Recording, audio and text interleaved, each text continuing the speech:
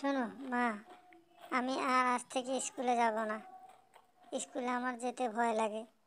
গ্রামের সব মা বাপই এখন তাদের সন্তানদের স্কুলে আর পাঠাবে না। আমিও যাব না। স্কুলে যেতেই আমার ভয় লাগে। কারণ স্কুলে যদি আমি যাই, ভূত আমাকে ধরে নিয়ে যাবে। তখন কি তোমরা আমাকে খুঁজে পাবে? আমি আর বাসায় আসতে পারব না। আমি ভূতের কাছে যাব না। ভূত আমাকে খেয়ে ফেলবে। তোমরা আমাকে যেভাবেই বোঝাও না কেন, স্কুলে আমি যাব না। ওখানে ভূত, বাইরে গেলেই ভূত আমাকে ধরে নিয়ে যাবে। আমি স্কুলে যেতে পারি, আমাকে জোর করবে না। একটা শর্তে, সেটা হচ্ছে তুমি যদি আমাকে স্কুলে দিয়ে আসো, তবেই আমি স্কুলে যাব। সন্তানের কথা মতো সে তার সন্তানকে নিয়ে স্কুলের পথে রওনা দিল। স্কুলে দিয়ে আসবে। কোথায় সেই ভূত? সেটা দেখার জন্য। কিন্তু স্কুলের পাশেই গোপনে সেই ডাইনি ভূতটা বসে বসে দেখছিল, খোকনকে কখন তার মা স্কুলে দিয়ে বাড়িতে যাবে।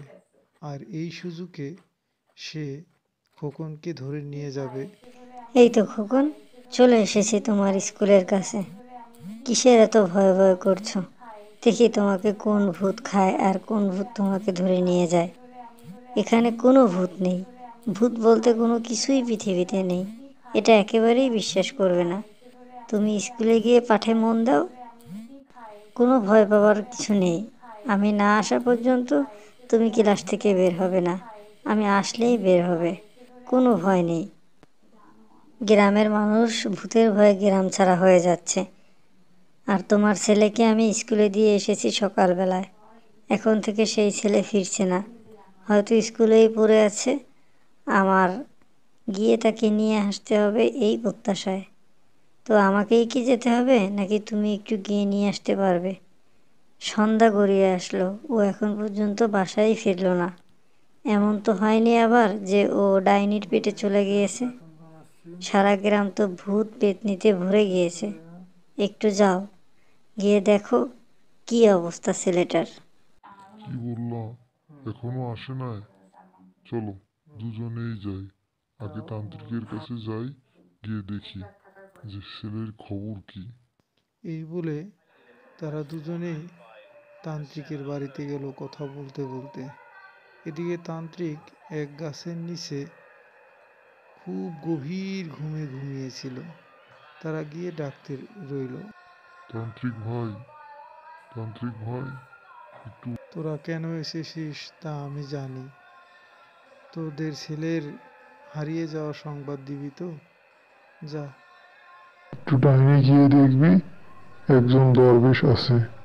উনি তোর ছেলের ব্যবস্থা করে দিবে। ভূত নিয়ে কোনো চিন্তা নেই। যা ভালো থাকিস।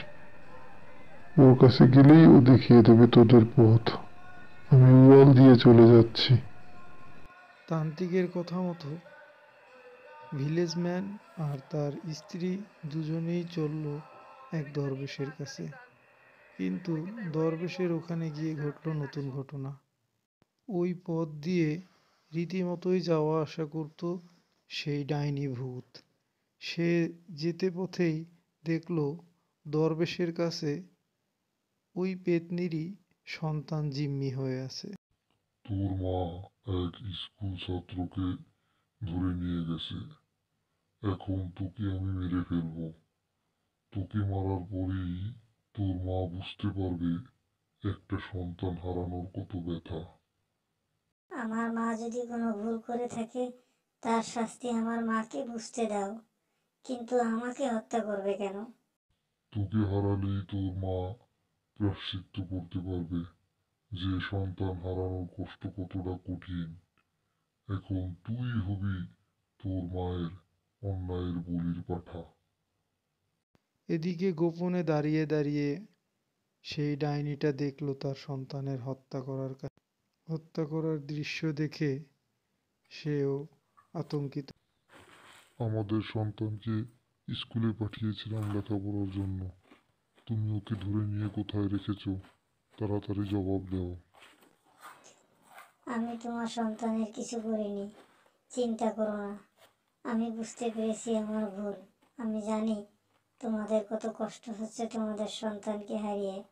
চিন্তা করো না তোমরা আমার সাথে আসো আমি তোমাদের সন্তান তোমাদের কোলেই ফিরিয়ে দেব।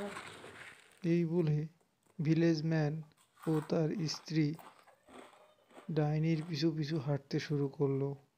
ডাইনিও তাদের পথ দেখিয়ে নিয়ে গিয়ে দেখল একটা আর খোকনকে দেখা মাত্র তার মা রীতিমতো ভয় পেয়ে গিয়েছিল যে তার সন্তান বেঁচে আছে কিনা। কিন্তু সাহস হারাবার কিছুই হয়নি। সে দ্রুত গিয়ে খোকনকে ডেকে উঠালো। খোকন ওঠো আমরা চলে এসেছি তোমাকে নেওয়ার জন্য। মা তোমাদের আসার এখন সময় হলো। আমি কখন যে এখানে এসেছি আমার কিছুই মনে নেই। আমাকে এই ডাইনি এখানে নিয়ে এসেছে। আবার দেখো সে ওই যে পালিয়ে যাচ্ছে। ওকে আটকাও। ওকে আটকে খোকনকে ফিরিয়ে দিয়ে ডাইনিটা সারা জীবনের জন্য এই গ্রাম ছেড়ে উধাও হয়ে গেল। আর কখনো এই গ্রামে ফিরে আসলো।